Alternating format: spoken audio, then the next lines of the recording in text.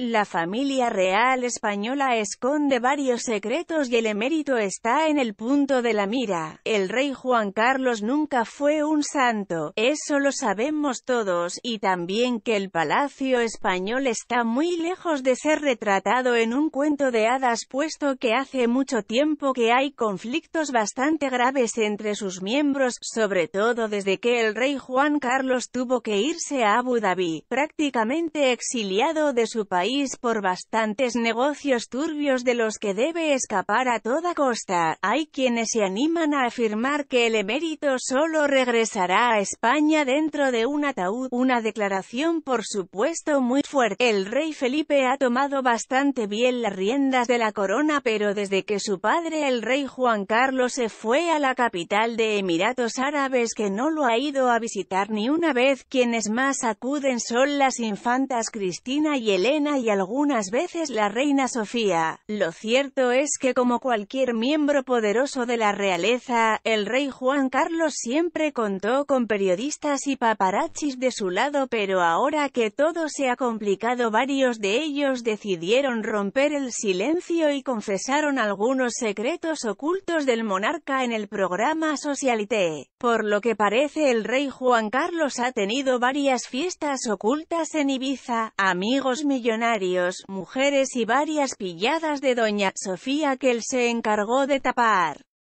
Por lo que parece, en varias oportunidades la reina se enteró de que su marido se iba al yate con amigas especiales y ella tomaba la lancha y lo tomaba por sorpresa. En estos casos el emérito reaccionaba tirando a sus amigas por la borda para que no las descubrieran con él. Marta Gallá, además, fue su novia de antes y por lo visto nunca cortaron el vínculo y varias veces fue fotografiado saliendo de su casa aunque esto siempre se ocultó. Los periodistas explicaron que existieron muchas fiestas en la clandestinidad en un barco de Mallorca, donde el rey Juan Carlos se sentía poco controlado, pero que también hay mucha leyenda urbana sobre lo que ahí sucedía.